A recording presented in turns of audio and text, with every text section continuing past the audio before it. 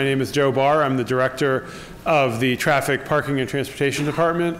Uh, and we'll be um, going through um, a presentation for you this evening on the current status of the design for the project.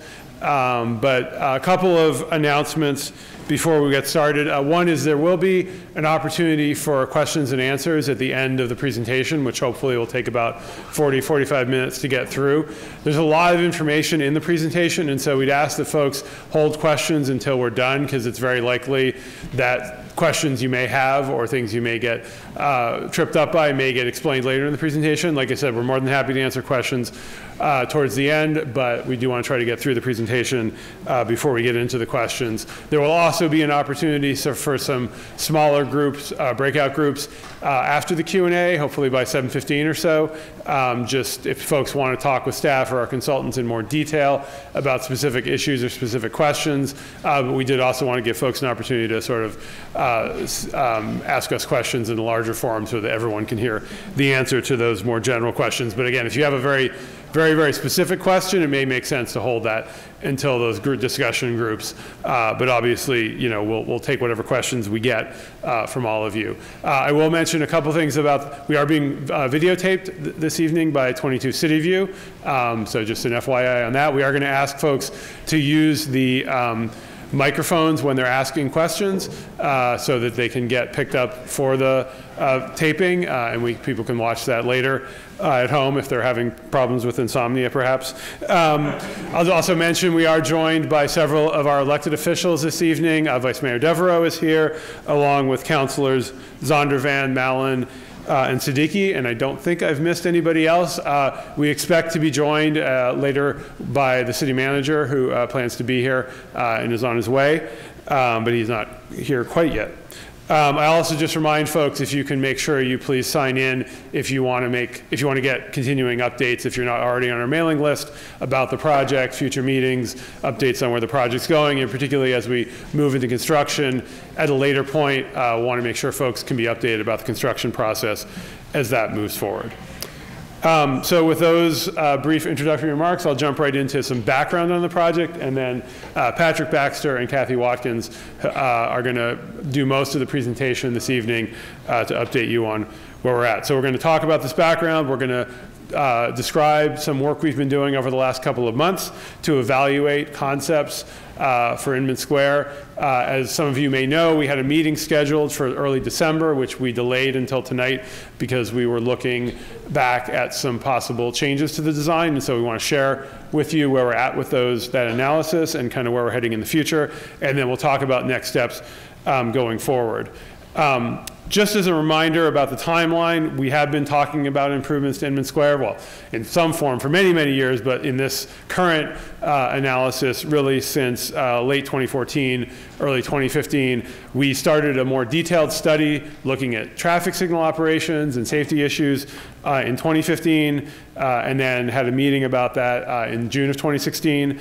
Uh, and then, unfortunately, um, that around right around that same time, we had a cyclist fatality in Inman Square. And that kind of uh, reemphasized the need not to just study things, but actually to really try to get something done as quickly as we could to improve the square. Um, and so that led to really two different pieces. One is what we're in the midst of tonight, which is this kind of more significant redesign of Inman Square. But the other is we did make some changes to Inman Square, banning some left turns, better marking some of the bike lanes, uh, and trying to do what we could in the, in the immediate short term to improve safety, but I think it's really important, uh, really to say two things. One is those safety improvements we have never felt were the full solution to what needs to change about Inman Square to make it as safe as possible.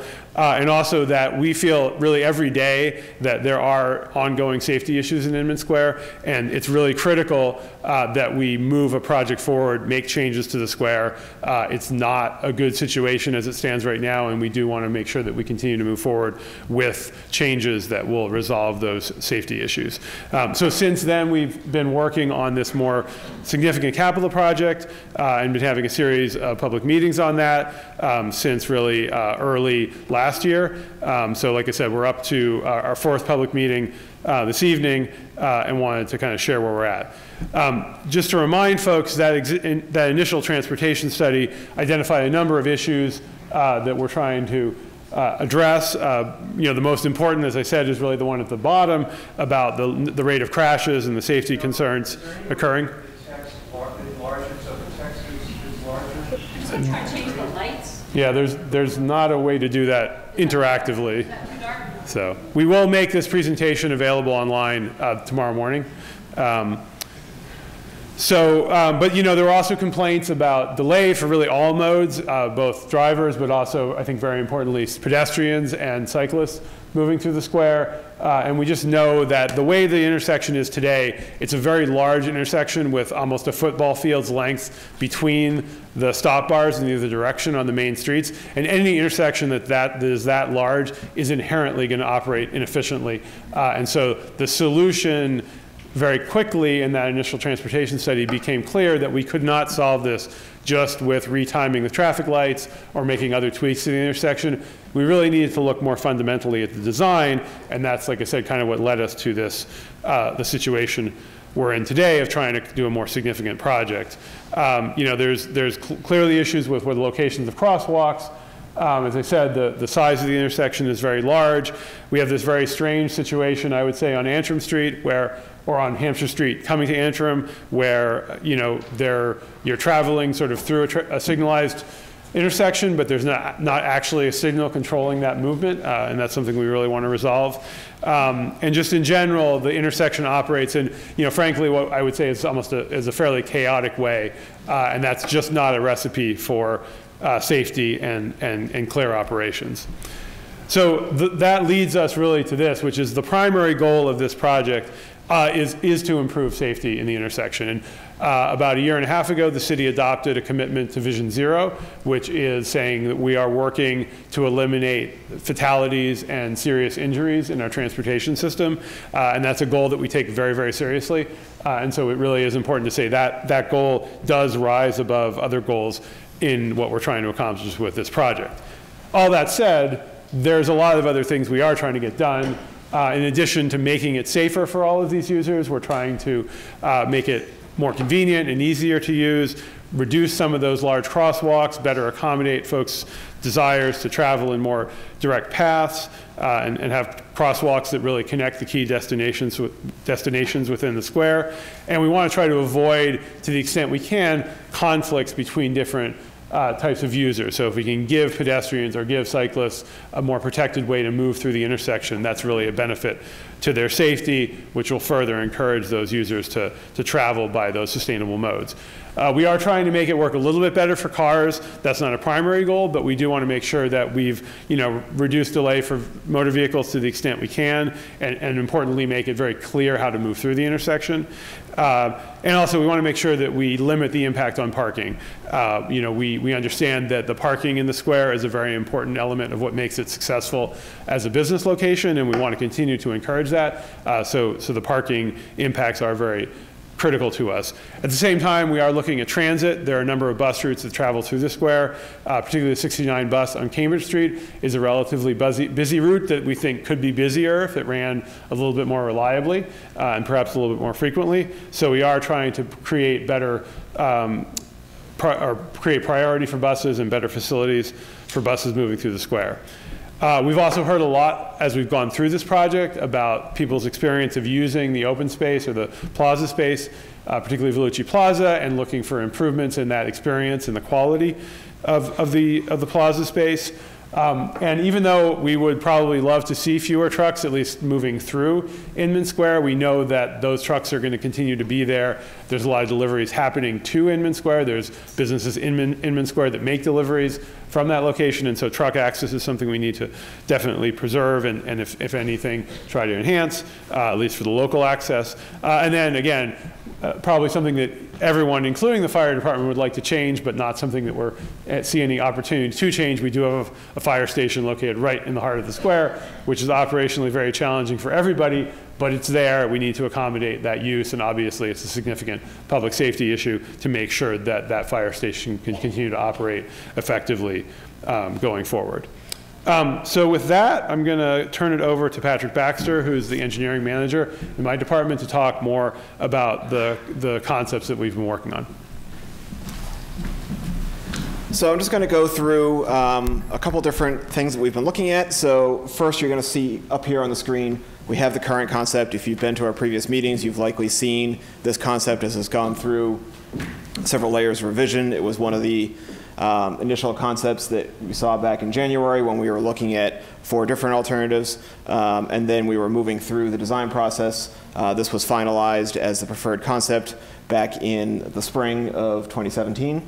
Um, so that said, over the last few months, we had heard from several um, groups of business owners and residents that they had significant concerns uh, about some of the issues with this concept, and they asked us to kind of go back to the drawing board, take a look, and see is there a way that we can accomplish all of the goals of this project, or the majority of the goals, especially those related to safety, while reducing the impacts on Vellucci Plaza and possibly providing some improved truck loading opportunities. So we did go back to the drawing board and we were able to pull together this alternative concept, uh, which is a variation on one of the concepts that was originally shown back in January of 2017. Uh, what we did was we worked with the consultants to identify several of the changes that were made through that process, um, through the public process, what we heard from residents and business owners um, to improve those concepts. You'll see here um, some of the changes we brought into the plan include the two-way Springfield Street. We heard very strongly from residents of Somerville that um, they did not like the idea of a one-way Springfield Street, which was originally shown in most of the other concepts back in January. Uh, we did look at the opportunities for a transit priority lane on Cambridge Street, similar to what is shown in the preferred concept. And again, this maintains the alignment of Hampshire Street and kind of bends Cambridge Street around to meet it, uh, as opposed to the preferred concept uh, from the previous meetings, which kind of did the reverse of bending Hampshire Street around to meet Cambridge Street, carrying Cambridge Street through on a straight alignment. This allows Vellucci Plaza to remain in the existing location. Um, however, it does have several significant concerns, which I'm going to go through uh, as we move through this presentation. So going back to the current concept, um, one key feature of the signal phasing for the current concept is it restores the left turns that were banned in November of 2016 as a response to some of the safety concerns in the intersection. It does so, it keeps those turns as a protected movement, so there's a separate lane for vehicles waiting to make a turn if they're going from Hampshire Street to Cambridge Street in either direction. They're able to enter the intersection uh, and then make that turn through the, uh, the intersection. So you start off with a phase for Cambridge Street, vehicles, uh, excuse me, for Hampshire Street, uh, they go through the intersection. You've got a through phase where the turns are protected from Cambridge Street. Uh, that means the right turns receive a red signal indication that allows pedestrians and bicycles to move on concurrent movements without having to worry about conflicting turns. We've got a phase to allow vehicles to exit from Springfield Street, and then we've got the through vehicles for Hampshire Street. And again, those vehicles are able to stop within the intersection in those center lanes and wait for the, the phase where they're able to continue and complete that left turn. While looking at the alternative concept, um, it became apparent that it is necessary to maintain the left turn restrictions in order to allow this intersection to operate um, safely and efficiently for all users of the intersection. So it would start off with a phase for through vehicles on Hampshire Street. You've got in each phase a brief clearance phase, which allows vehicles to exit the intersection, and then it moves on to Cambridge Street. Um, this kind of brings up one um, as, as we have been thinking about it, a really fatal flaw with this intersection in that it requires drivers within the intersection, depending on which street they arrive from, to see uh, a very different condition and operation of the intersection. So what I'm going to show you here is what you're seeing as your vehicle, you, you've come down from Somerville, you've entered on the Hampshire Street approach, you go through the first signal, you get a green signal indication, you come to the second intersection, as we have indicated, the left turns are prohibited.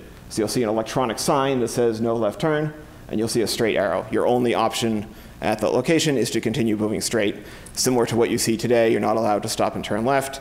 Um, if you do so, you're blocking up the intersection. Um, you're stopping, you're waiting, and then the vehicles behind you aren't able to pass. Uh, you're causing safety issues behind you as vehicles might stop and queue up through the intersection. And if you do choose to disregard that signal indication, you're then crossing through an oncoming stream of vehicles a stream of bicycles, a stream of pedestrians, another stream of bicycles, and another stream of pedestrians. So, you know, making that left turn at that time is certainly not a safe maneuver. Following up on that phase, Cambridge Street receives the green signal indication. So a Cambridge Street vehicle moving eastbound headed towards Lechmere comes into the intersection, makes a right turn into the inter- internal intersection, and then makes a left turn out. So if you remember previously, a car on Hampshire Street saw a no left turn sign. The Cambridge Street vehicle sees a green left turn arrow. That sets up kind of a, a confusing issue with the intersection in that the Cambridge Street driver is being told they're allowed to turn left and they have a protected phase, they get a green arrow, while the Hampshire Street driver is being told you're not allowed to turn left, you must proceed straight. This is a little bit different from what we typically see um, in other intersections across the city where we either have a full-time left turn restriction like you see in Central Square from Mass Ave at Prospect Street, you're never allowed to turn left, or other locations where you might have a protected left turn, you see a red left arrow, that means you stop, you wait, you'll get your indication, and you're able to proceed.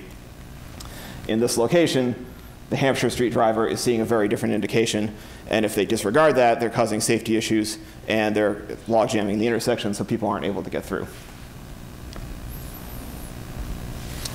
Um, looking at the traffic signal cycle, they're overall fairly similar. Um, today, one of the issues we've heard from a lot of people, you've got the very long cycle, which is a function of the very large seven-leg intersection. As Joe mentioned, it's almost a football field between the stop bars on the Cambridge Street approaches and the Hampshire Street approach. So we have an existing 160-second cycle. Uh, for purpose of comparison, typically we target a maximum of 90 seconds for a signal cycle in Cambridge. Under the current concept, we have that down to 90 seconds during both the morning and the afternoon peak hours. For the alternative concept, we are slightly longer at about 120 seconds in the morning and 100 seconds in the afternoon. However, in both cases, you are below the 160 seconds for the existing condition. So thinking about our evaluation criteria in comparing these concepts both now and earlier on in this process, we were looking at items like uh, plaza space within the intersection, uh, the tree canopy, maintaining environmental goals in terms of urban heat island, um, alignment with Vision Zero, where, where, you know, as our primary goal here is really to make a safe intersection that able, everybody is clearly able to understand. Um, that really mandates that the intersection be clear and intuitive for all users. Uh, we're looking to reduce travel delay for all modes. We especially find with pedestrians, the longer you have to wait, the more likely you are to get frustrated and perhaps walk against the don't walk signal and then cause a potential safety issue in those crosswalks. Uh, we are also looking at transit improvement opportunities. And then, of course, the curb use, looking to maintain as many of the existing parking spaces as possible and ensure that we have loading zones for all the, the vehicles delivering to all the businesses in the square. Uh, so with that, I'm going to hand it over to Kathy Watkins to talk a little bit about the plaza. Hi, so I'm Kathy Watkins from Public Works. I just want to go through, so the evaluation criteria, particularly looking at the plaza space and the tree canopy, because that's really where a lot of the differences are between these, um, these two options, and particularly why people had asked us to sort of go back and relook at um, what are options that have different plaza impacts and different options for the plaza. Um, and which is the red button? This one? The top one. The top one, okay.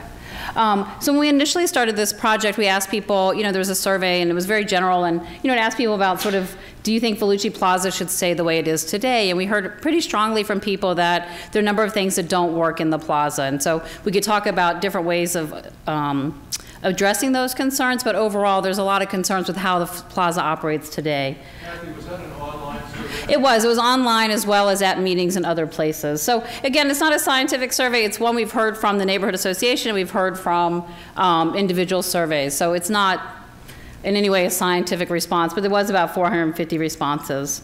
Um, and so just thinking about how the plaza operates today, oops, does that not work?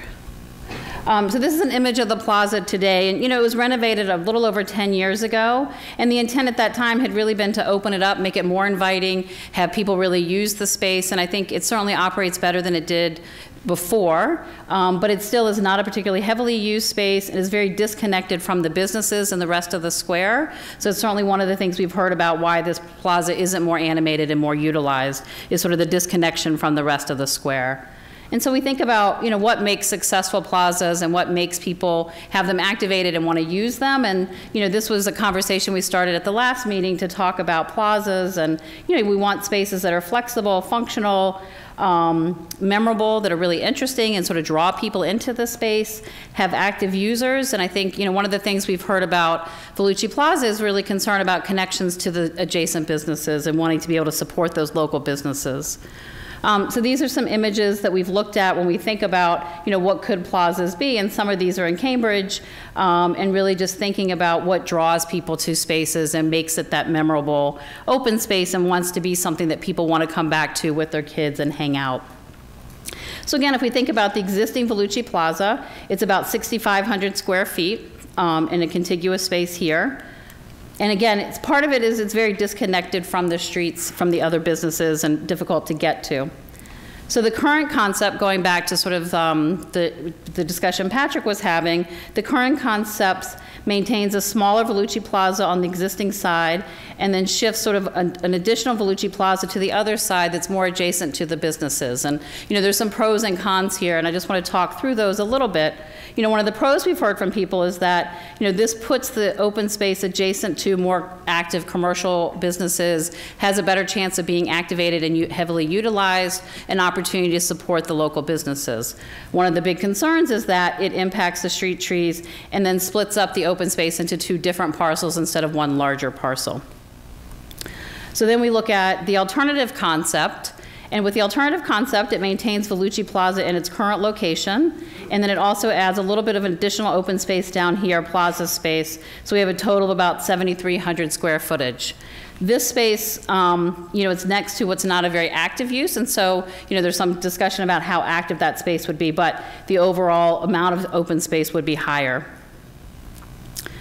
And then we think about tree canopy, which is the other uh, the thing that's impacted by the current proposal. And so the current proposal impacts these first four larger trees in Vellucci Plaza. So there's six trees along the outside of Vellucci Plaza. The two in the back remain, and the four in the front would need to be removed for that realignment.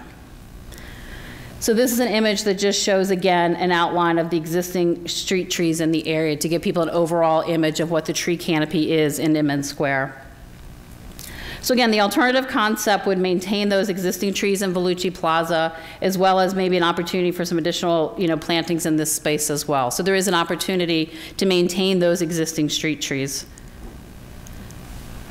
The current concept, and again, removes these four, um, it's an opportunity to do additional plantings here in the newer Vellucci Plaza. And so we have some images showing, you know, we haven't done the detailed design, and that's a conversation we want to have with people, but this gives sort of an imagery of what the plantings could be. Um, and so if you're sort of looking into the future, what, is the, what do those trees look like? And then I'll also come back and talk a little bit about the Springfield City parking lot and some changes we've been looking at with that in terms of overall tree canopy.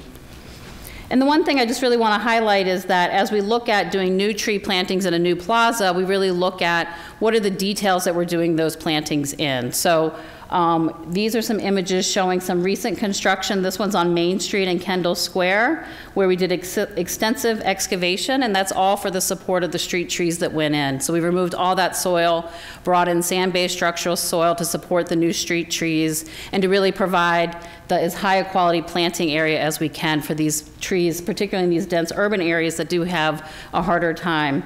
Um, and so as we look at the project, we would look at protecting the existing street trees, with protection of the tree during construction, air spading of roots, and then as we look at the new trees, we would look at, you know, extensive sand-based structural soil, make sure we have a system for watering, and make sure they can really thrive over time. So these are some images on Western Avenue, which had pretty extensive sand-based structural soil and has been in place for about two to three years. And what you see is that these trees here, there's some existing trees, the larger trees. These trees here, which have the gator bags on the bottom, are actually new street trees, and those have done really well. So if you go up and down um, Western Avenue, particularly in May or June, once the trees come back out, you'll see that these tree plantings have done really well in that environment. Um, as we looked at, okay, so we have this current proposal, and it does impact tree canopy, and what are the ways that we can address that looking broadly at Inman Square? So we've looked at what are the tree details of what we're planting in the plazas, but also in the overall Inman Square, what can we do, do to increase tree canopy and reduce urban heat island? And so we expanded the project a little bit to look at, there's this city parking lot on Springfield Street, which is very barren and is a hot black asphalt. And so we looked at an option that would increase some, uh, um, decrease the amount of paving and add new trees into the parking lot. And so again, to try to look at how do we make this overall a benefit. Um, And then Patrick will talk a little bit later, but, you know, we've really looked at the parking lot in terms of adding street trees. And during that process, we looked at the layout of the parking lot and were able to actually add um, a number of additional parking spaces. So it helps us on the parking count, but it also helps us looking at the overall tree planting in the broader Inman Square area. So if we look at the current concept and say, you know, after, you know, when the project is first completed, we'd have about 85% of the tree canopy that we have today. When we look at 10 years down the road, depending on how those trees thrive, we would have 100 to 135% of the overall tree canopy. And so we're really committed to mitigating any of those impacts. Um, This is sort of a general, and this is- applies a little bit to some of the things we've been talking about, but, you know, really thinking about the environmental benefits of the project and going back a little bit to the safety message, which is that as we make it safer and more comfortable for people to bike and walk and take transit, it really is an opportunity to encourage more people to take those modes and drive less um, and reduce emissions. So both of those are options, you know, both of the, that's really a, a driver of this project. Um, and one thing I didn't talk about is that we've looked at, you know, using lighter colored pavers at the, both of the plaza reconstructed areas, as well as, you know, is there an opportunity for maybe some um, cooling, cooler paving um, coating that we haven't tried in the city, but on the parking lot, is this an opportunity to try that to, again, to further those overall goals? So with that, I'm going to turn it back to Patrick to go through a little bit more in details about the other goals and criteria. Thank you, Kathy. So just coming back to the safety issue, um, you know, safety is the basis of this project. This was started in response to the issues that we were seeing in the intersection with a very high crash rate, um, especially for vulnerable users, bicyclists, pedestrians traveling through the intersection. Um, so looking at the crash data, we saw some of the most common crash types. We had the rear end crashes, angle crashes, sideswipe, and then the bicycle and pedestrian involved crashes, um, which again frequently result in injuries.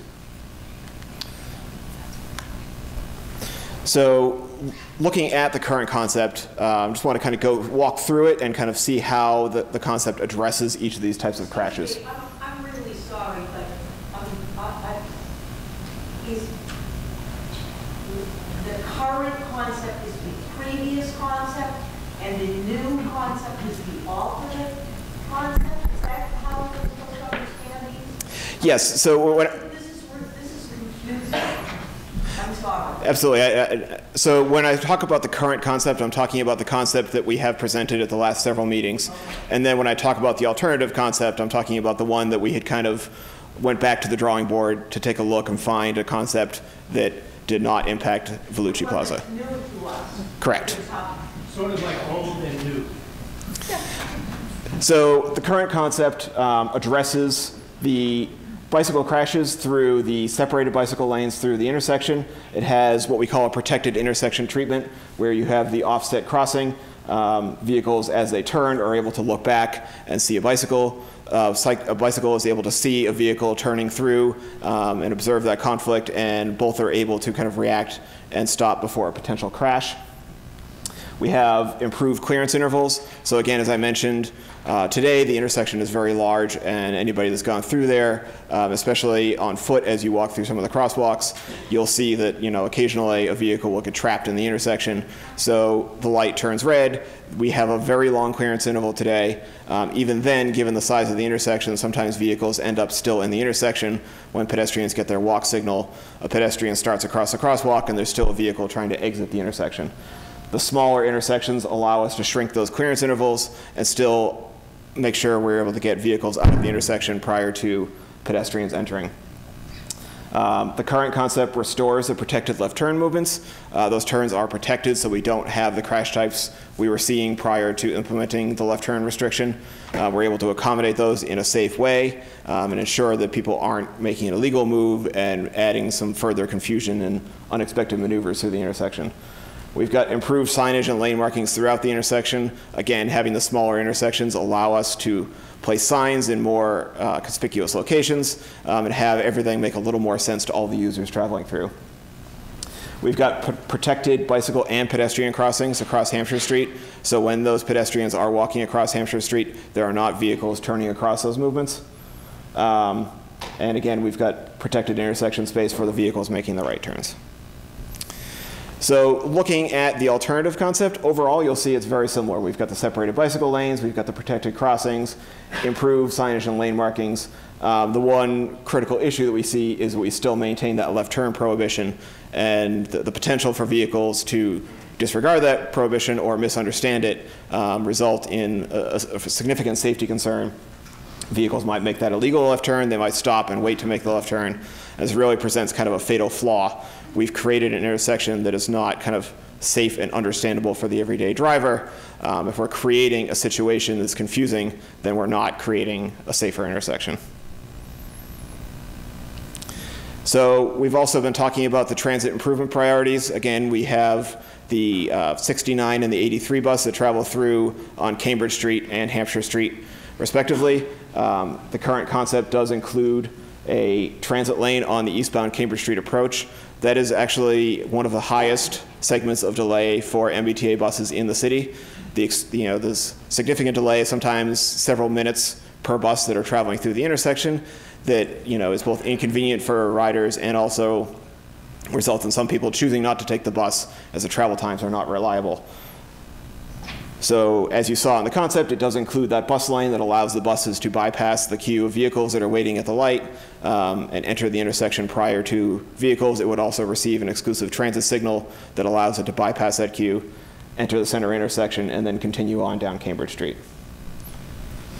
We did also look for the alternative concept at providing a bus lane on the approach. However, as you saw in the rendering of the alternative concept, we ultimately were not able to provide that. Um, what we found was you've got a significant issue at the approach entering the intersection. You've got two lanes here. You've got the vehicle lane and the bus lane. But then as they come around the curve, you've only got the single lane at the internal intersection. So there's no space for the bus and the vehicle to merge.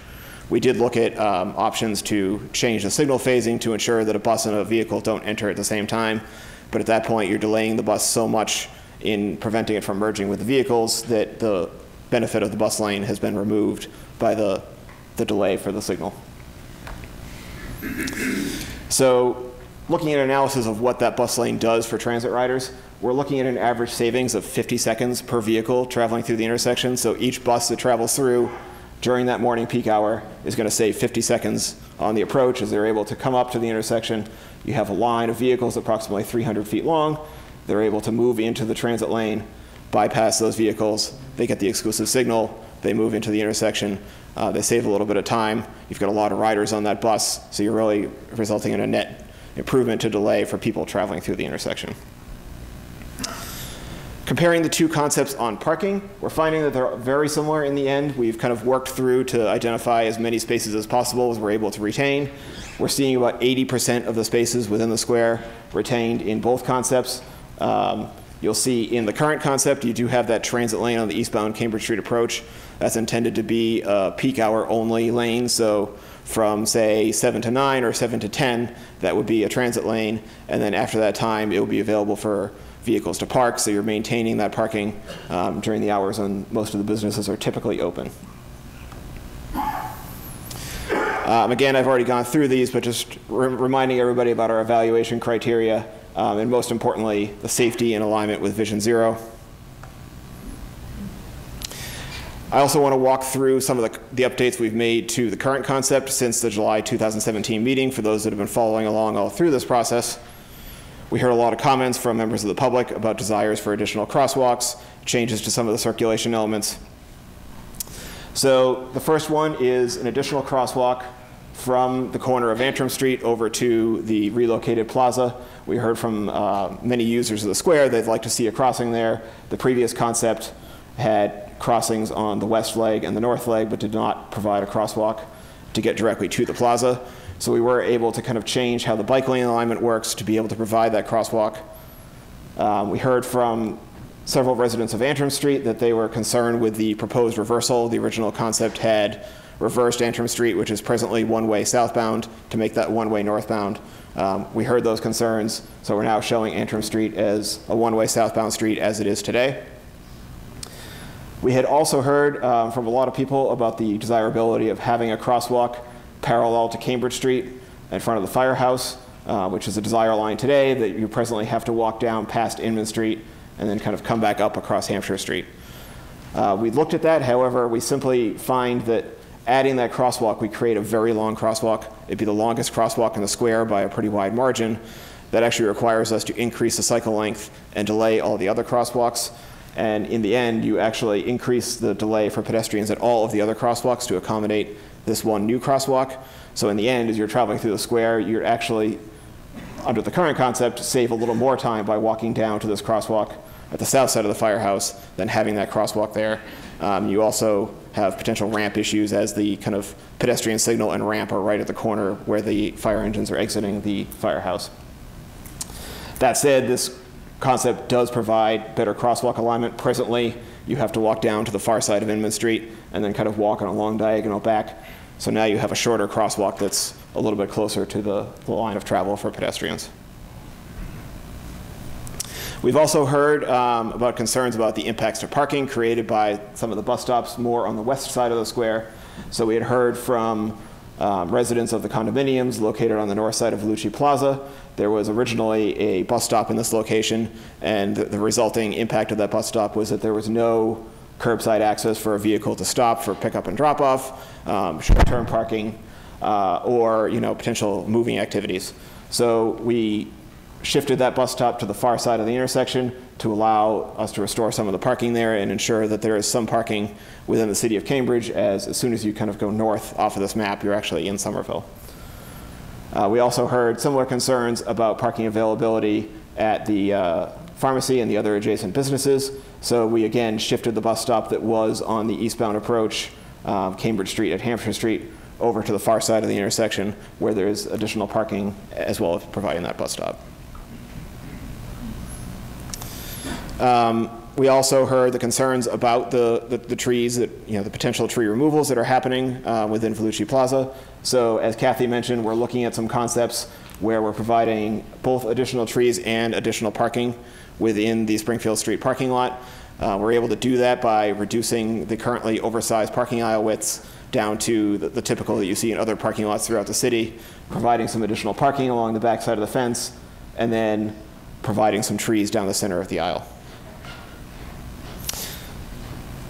So with that, um, next steps, we're going to be looking at a community meeting in March to talk about the plaza design. Um, we're going to be finalizing the design and the concept through the spring. Um, there will be some permitting involved uh, in the changes to the plaza.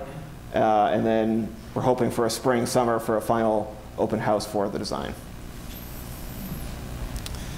So with that, if we can uh, turn some lights back on.